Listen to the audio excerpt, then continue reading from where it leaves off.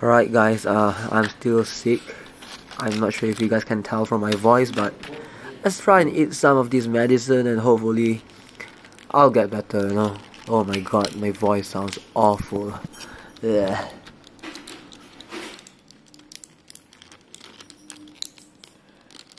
Two hours later.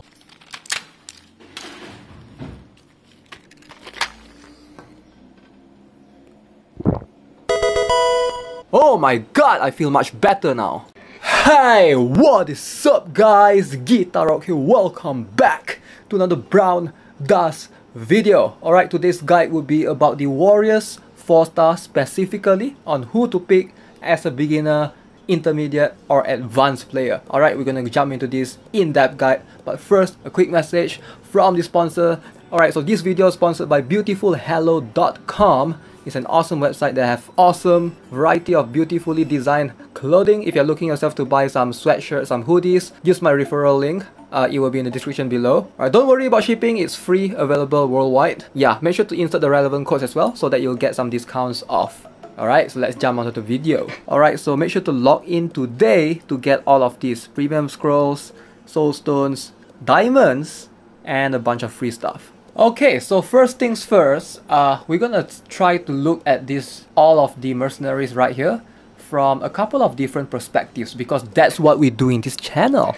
Alright, so I will give my in-depth analysis and usually I will favor the newer players and I would tell them, hey, if you're new, pick this, pick this, pick this. Alright, so that's how it's gonna be most of the time. But today, today, we're gonna do something a little bit different, alright? Bear with me a bit. It's just a little bit different.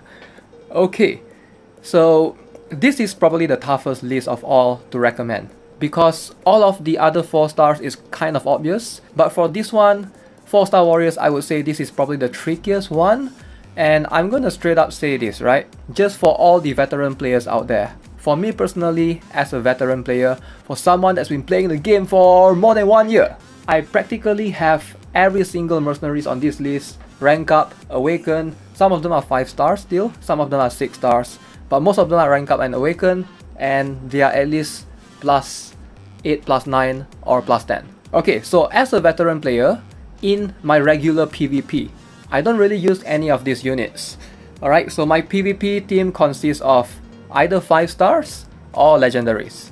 So I just want to get that straight. Alright, if you are new you might be using some legendaries, some 5 stars, and you might mix in some 4 stars as well because you're new to the game, you might not have enough resources to awaken a bunch, and definitely a 4 star plus 9 is going to outperform a 5 star at plus 0 or whatever, so you might not have enough skill books whatsoever.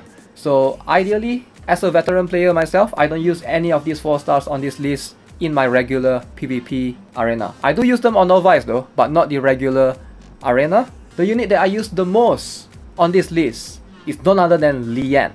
Alright, so Lian is like the go-to to pick if you're a veteran player, you've been playing the game for a while, and you practically own most of these warriors already, you should go for Lian. Now's the time to go for Lian.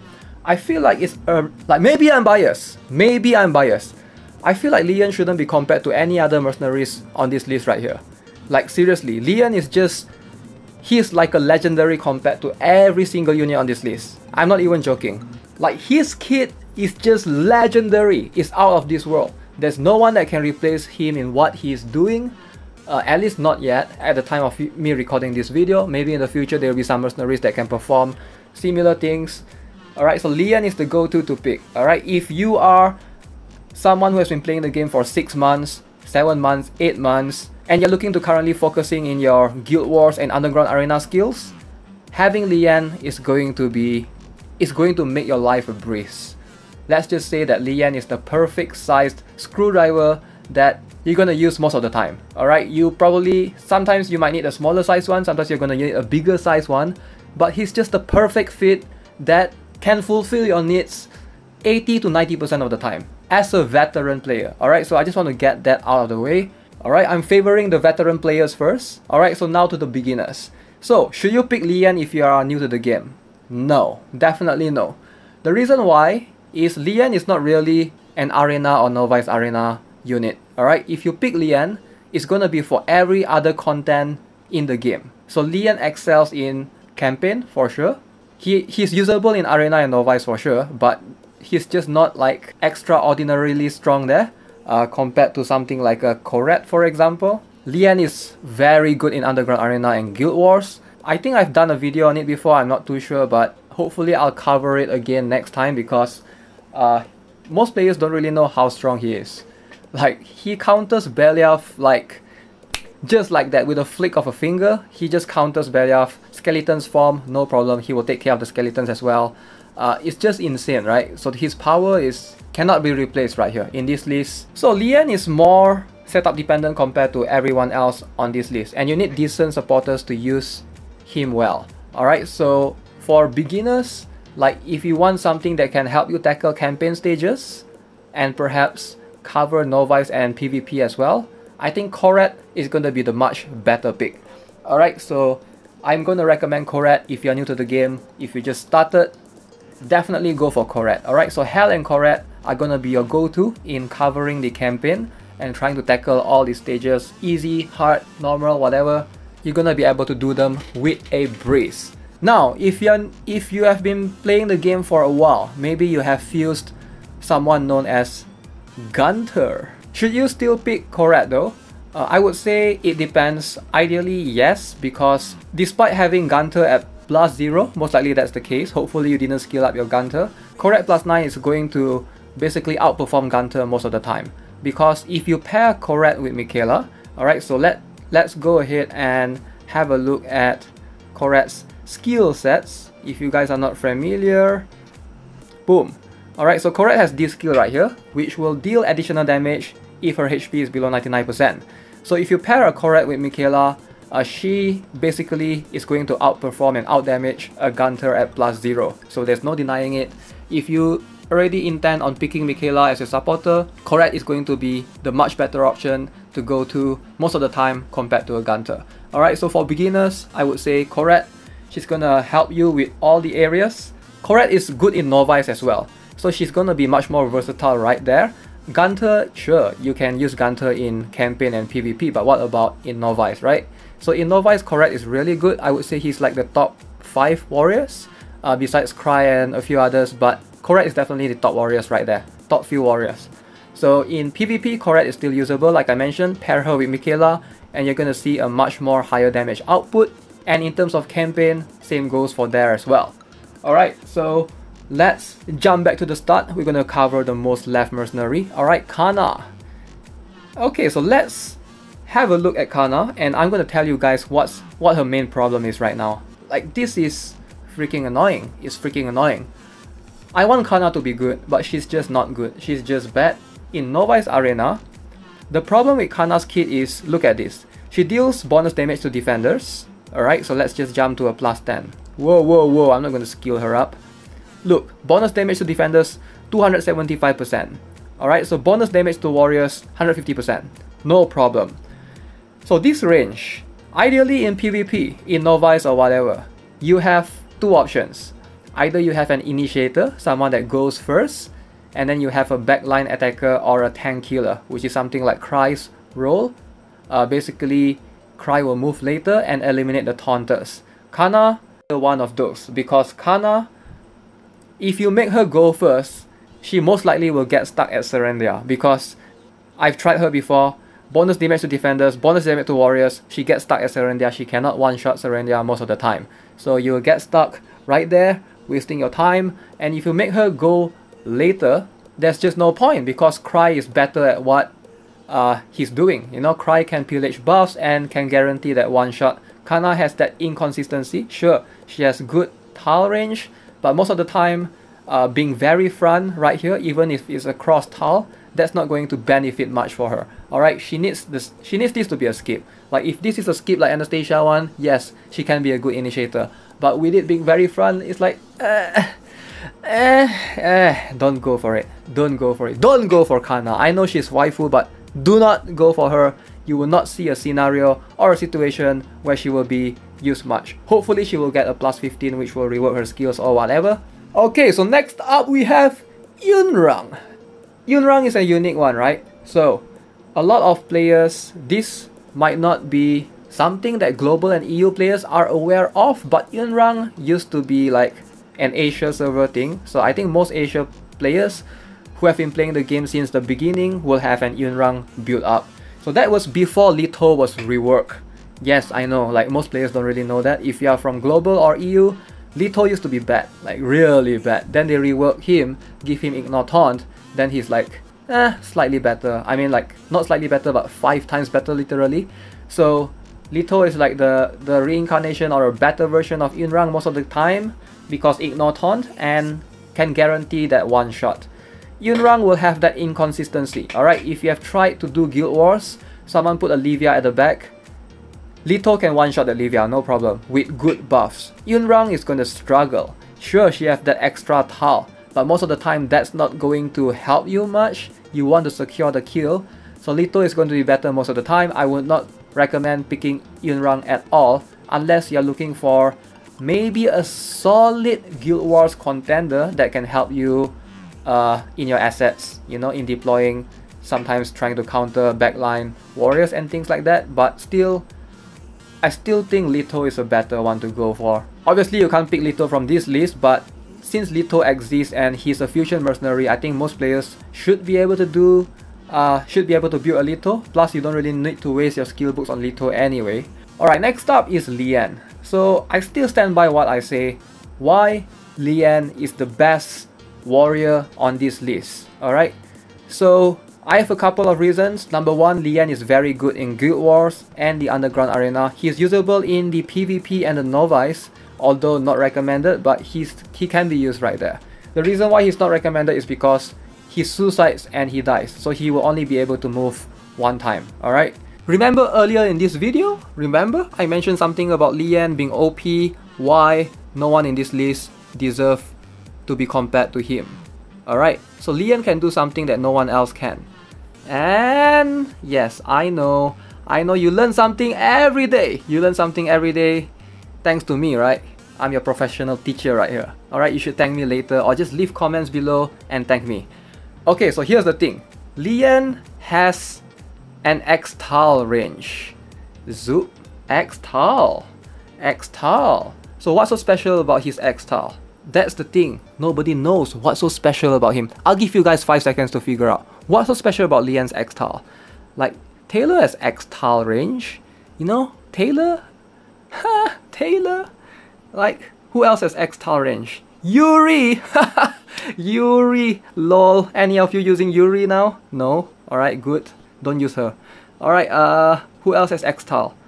Who has X-Tile? Gunter, Pork, Gunter actually good, alright. Korat, right, you get the picture, right? Arch, boom, X-Tile. And lastly, we have Octavia, X-Tile as well. Alright, in case you guys are wondering, what makes Lian's X-Tile range so unique? Alright, so Lian's X-Tile range hits far, rare. He hits the most back. Yes, do you guys figure it out though? Do you guys figure it out? No? Ah, too bad. Try again next time. It's okay. It's okay. Sometimes, you know, this is the thing, the small little things that we overlook. So why is this so good? Why is this so good?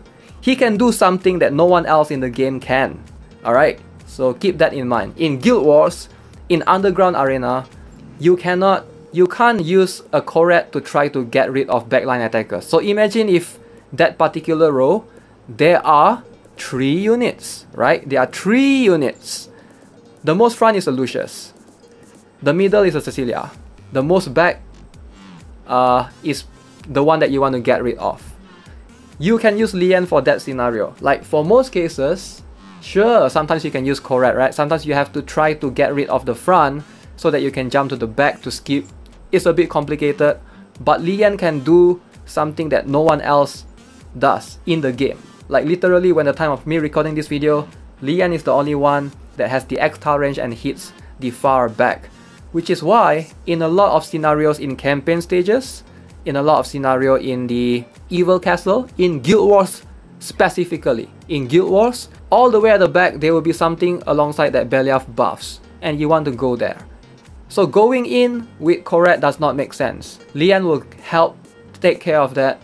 He will make your life easy Like, you're gonna regret looking down on him. I'm serious. He's that good. So that's my reasoning. It might not be a valid one to you guys until you try it out, until you try to play Guild Wars for a bit, which is why for veteran players, I think this is something that only veteran players is gonna understand. If you're new to the game, probably you'll be like, oh, what's so special about this tile range? I mean like, okay, cool.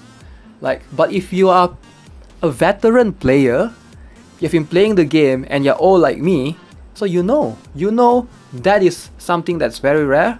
That's that specific formation that in the underground arena, in that tournament, he's gonna be able to carry you. Okay, so let me do a quick jump to Arch. Alright, so I want to talk about Arch a little bit. So Arch used to be really really strong, right? Remember Arch? Remember this girl? Yeah, she has the large hammer. No one remembers her? Too bad, too bad. She used to be a decent hell counter in the Novice. She used to be really strong. But with Lian's existence, Arch is no longer needed in any team at all. The reason why is Lian can hit front as well. You just need to use Serubia. Alright, Serubia combo with Lian is gonna give you a much higher output damage than an Arch will ever give you. Which is why having Lian makes more sense. So if there's no supporter that can modify an attacker's range to the far back, but Serubia exists and Serubia can modify any warrior's range to the most front, which is why Lian is like so good right now. Like he's like if you're a veteran player, go for him for sure. There's no debating here. Alright, so the next one, we will have Rydell. Okay, so Rydell is a pretty decent unit actually. Uh, she can be used in all the particular stages in I would feel like I would say she's probably one of the most versatile as well besides Koret where she can be used anywhere in the campaign, Evil Castle, etc etc. The problem is the problem any of you figure out what the problem with Rydell is? What's the problem here? The problem is plus 15. Yes, you're gonna need that investment. You're gonna need to plus uh, 15 her to benefit from her skill's full potential. Yeah, so most of the time, uh, to get that co extra companion is just not worth it. Even as a veteran player myself, I have not yet uh, tried to pour my resources into Rydell because you don't really need her. Like anyone else on this list is gonna be able to do what they can do. And I feel like Rydell is just outclassed by the next unit we're gonna cover which is Viola. Alright so Vi Violet Violet? Wait wait wait what? Hold on hold on a second. Violet? Alright let me check out let me check. That can't be true. Wait is Viola in the game though? Why did they change it to Violet? Will they change her name to Violet after the patch? I hope not. I like the name Viola. Alright, so Viola, I feel like she's a much better pick than Rydell. Alright, so a couple of reasons. Number one, if you get her, she's gonna be pretty decent right out of the box. Uh, that means at plus 9, Awaken, she's gonna be able to output a decent amount of damage and to kill tanks like Cecilia or Cowley, especially if they don't really have the buffs, Viola can actually do that, like I'm not even joking, her decomposition is just so OP. If you guys are not familiar, this skill basically deals damage based off max HP. Alright, so in a lot of cases, Viola is better than Rydell, I would say. So if you can plus 10 her, will be even greater, but at plus 9, she's gonna be more than enough most of the time. And buff prohibition is just so good. Like Viola is like your best friend in trying to tackle some of the Evil Castle and campaign stages. In fact, I used to rely on her a lot, and I feel like till today it's still going to be that case. Uh, especially there are one of those few specific stages where you need to basically just buff prohibit the uh, warriors in the back or defenders at the back to basically get 3 stars for this stage. And Viola is like a much needed investment, much much more than a, a Rydell would ever be. So if you ever want to consider like between the two who is like better right now, Viola is still better. Even after Rydell gets the plus 15, I feel like Viola is just still better. Alright, so next up we have Zakan. So this gets a little bit interesting. I wouldn't recommend going for Zakan if you are new. The reason is because if you are looking to basically have uh, bombs in your team composition, I feel like Chalkel and Kiwick is gonna be a much better option. So couple of reasons why. If you guys are not familiar with Zakan, I basically have a Zakan right here. So Zakan deals fixed damage, just like Chalkel and Kiwik when he explodes. But Zakan has a little bit of a different requirement to using him. So number one, he cannot receive buff. Alright, so that's the thing. So remember, Zakan cannot receive buff. So no matter how, you cannot buff a Zakan and expect him to have high attack. So all his damage uh, in terms of the explosion and trying to counter attack an enemy is gonna come from runes alone. So you need to have good runes. So for new players, uh, to invest in him is going to be a little bit hard. You need that runes. At least for Chalkel, uh, you can still buff Chalkel. Even with bad runes, you can still he can still receive buff. But Zakan cannot receive buff. Uh, same goes for Kiwik. Kiwik doesn't really need buff. Uh, he's more of a, it depends on his HP. So he can receive buff, but like it won't affect the explosion damage. Kiwik is also rune dependent.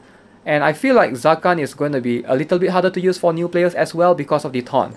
Alright, so the taunt basically makes setting him up in an underground or in Guild Wars formation a little bit harder because if you don't place her far away, uh, he's gonna redirect the attacks towards him, uh, especially if there's a Katarine or something, uh, that's going to mess up your formation most of the time. So with Chalkel, it's going to be much more safer, and being a magician is much easier because you can chain the turn order and things whatnot. Alright, hopefully that makes sense to you guys. So Arch, as I mentioned earlier, if you really want a cross tile, I know some of you might be, oh, Arch is good, uh, her artwork, I like the lolly girl carrying the hammer, blah blah blah. Trust me, if you care about playing this game for a long time, go for Lian. You can pick Arch later for the artwork or whatever. Alright, so Orianne. Now, Orianne used to be really cool when Hell was a thing, but right now she's just there won't be any usage for her except for in the world boss arc star alright if you ever use an Orianne it's gonna be right there and yes you might need her to be high skill and high uh, level I can understand that if you want the strat to work properly but I feel like this is something that you have to work towards slowly if you pick her right now and you don't have like the remaining the remaining core units needed in the strategy it's not going to serve you uh, much of a purpose. So I wouldn't recommend Orianne at all. She's only good in one thing, which is the Arc Star strategy for the world boss. Only one thing. So definitely not gonna be recommended for most players. A hard pass for sure. Okay, so Nia is an interesting one. And I know some of you guys will be like, why are you not recommending Nea Gitarro? Why? Why are you not doing it? Because Nea's the only one with plus 15 on this list. Why are you not recommending her to new players? The answer is simple. The answer lies in your heart. You know it. Alright? Nia? Yes. She has plus 15. But to be honest, to be honest, if you ever use a Nia for anything, it's just to get rid of Lucius. And you don't need a plus 15 for that. And even if you do, I'm not going to recommend her to new players because she's only good in one particular area. Alright, whether you like it or not. Some of you might argue with me, oh Nia is good everywhere, Nia is good everywhere. Calm down, alright? Nia is not good everywhere. She's only good in Arena because she gets rid of Lucius. You don't see Nia in Novice Arena, do you? Do you? Do you? You don't. You don't see Nia in Campaign. Do you? No, you don't.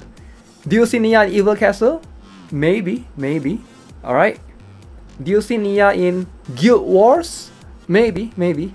But most of the time, all of those areas, Koret can be a much better contender and cover those areas in a much more balanced fashion. So, I would say go for Koret still. Don't bother about Nea, alright? I know some of you will be like, oh, she has plus 15, blah blah blah, she's a cat, blah blah blah, I like cat, blah blah blah. No, don't do it. Don't waste your time. And plus, I do think that with the upcoming uh, Raphithia, and I know some of you might have mentioned this before in my previous 5 star warriors video, right? So Raphithia is going to be a thing. She's going to provide some sort of reflective counter to the uh, to your allies and things like that. Alright? So Nia is going to die from that counter, whether you like it or not. Nia is a single target hero. Uh, Anastasia on the other hand, yes, she might die as well, but Anastasia covers a big area.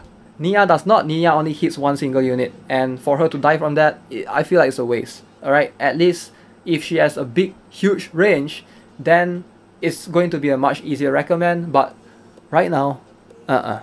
Uh-uh. Alright guys, like if you have been playing the game for a while, you don't have Lian yet, definitely go for Lian. Like there's no argument right there. And if you're new, Koret for sure. Alright, so I would say right now Viola is a strong uh, third option. And I would say the rest, I would rate them equally. Uh, they won't serve much purpose. Okay, so if you haven't already subscribed to the channel, give this video a like. I'll see you guys in the next one. Have a nice day. Goodbye.